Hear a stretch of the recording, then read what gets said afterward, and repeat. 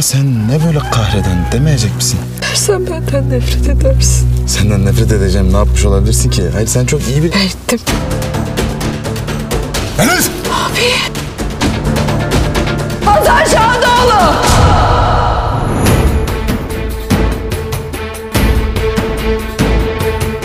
Miran, orada öğreneceklerim her şeyi değiştirecek.